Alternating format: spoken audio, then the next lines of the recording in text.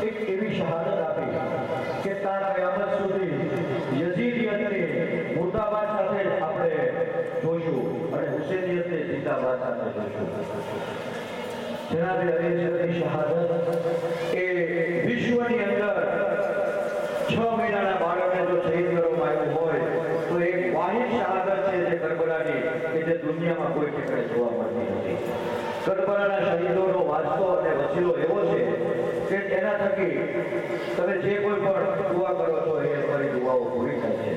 એક શાયર પોતાના હકીકતના કલામાં કહે છે,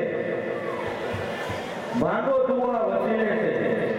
કરબલાના શહીદોની વસીલાથી દુઆ માંગવાનું. માંગો દુઆ વસીલે છે, ખાલી ન જાયગી. માંગો દુઆ વસીલે છે, ખાલી ન જાયગી. બાત ઇનકી कभी खुदा से टाली न जाएगी बात इनकी कभी खुदा से टाली न जाएगी इसके गमे हुसैन में आंसू बहा के तो देख इसके गमे हुसैन में आंसू बहा के तो देख इतनी खुशी मिलेगी कि संभाली न जाएगी इतनी खुशी मिलेगी कि संभाली न जाएगी હવે આપણે જેને સાંભળવાના છે એવા પ્રોફેસર કોમેરી સાહેબ, અસર કુમેરી સાહેબ, આપણી વચ્ચે હવે શહાદત બયાન કરશે. એ પહેલા એક જાહેરાત છે, દરેક અજાદર ભાઈઓને ખાસ વિનંતી કે જાહેરાત જે અહીંથી કરવામાં આવે છે, એની ઉપર પૂરતો અમલ કરે, જેથી કરીને આપણે આપણી જે માતરનો પ્રોગ્રામ છે, એની અંદર વ્યવસ્થા જાળવી શકીએ.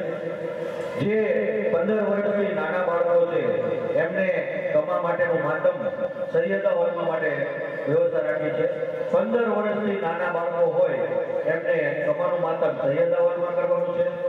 જે બુઝુર્ગો અને વડીલો છે, જેઓ હાથનું માતમ કરે છે, એમના માટે જનાબનું મકાન અને મસ્જિદમાં લીલે આપવામાં આવશે. જે બુઝુર્ગો છે, એમના માટે જનાબનું મકાન અને મસ્જિદમાં હાથનું માતક થશે. જે લોકોને હાથનું માતક કરવું હોય એ લોકો ત્યાં કરે. અને બાકીના જે લોકોને કમાનું માતમ કરવું છે, એમને અહીંયા મેમ્બરથી ઠંડક સુધીની વ્યવસ્થા રાખવામાં આવેલી છે. અને જે લોકોને જંજીરનું માતમ કરવું છે, એમને હબીબભાઈની ખડકીમાં જંજીરનું માતમની વ્યવસ્થા કરવામાં આવેલી છે.